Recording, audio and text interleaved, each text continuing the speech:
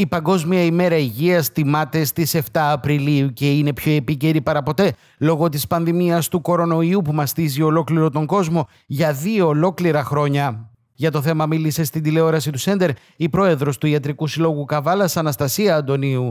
Ναι, την υγεία την υπηρετούμε οι ιατροί κάθε μέρα, δεν χρειάζεται να την υπηρετούμε μόνο την Παγκόσμια ημέρα της υγείας.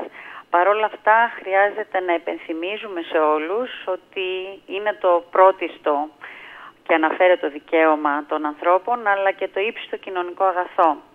Δυστυχώς η πανδημία μας έδειξε ότι ε, δεν είναι ισότιμη η πρόσβαση για όλους τους ανθρώπους πάνω στον πλανήτη ε, σε υγειονομική περίθαλψη και γι' αυτό ακόμη δεν μπορούμε να απαλλαγούμε από αυτόν τον ιό γιατί δυστυχώς ε, δεν εμβολιάζονται όλοι έναντι του ιού, αλλά και δεν ε, έχουν δοθεί εμβόλια σε όλες ε, τις χώρες του πλανήτη.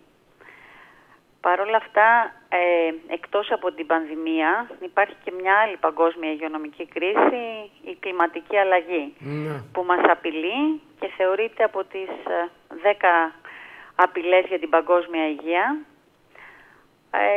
και δυστυχώς πάλι εθελοτυφλούμε.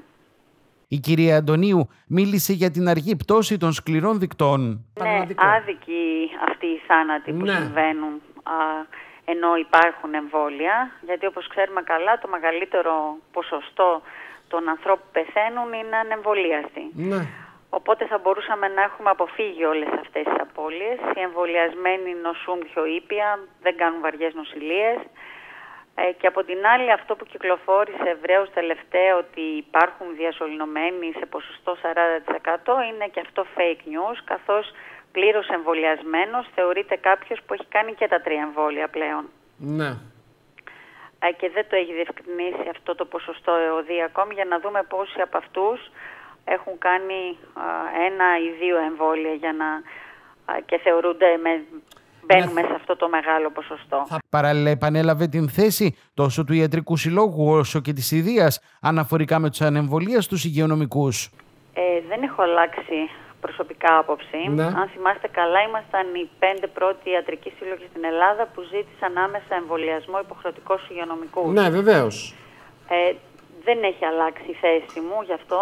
Ναι. Πιστεύω ότι οι υγειονομικοί θα πρέπει να είναι εμβολιασμένοι όσοι εργάζονται στο Εθνικό Σύστημα Υγείας και για τη δική τους ασφάλεια και για την ασφάλεια των ασθενών, αλλά και παραδειγματικά ε, όσοι υπηρετούν την υγεία θα πρέπει να παραδειγματίζουν και με την σύνεση και την πειθαρχία στα επιστημονικά δεδομένα, αλλά και με τη στάση τους γενικά απέναντι στην κοινωνία.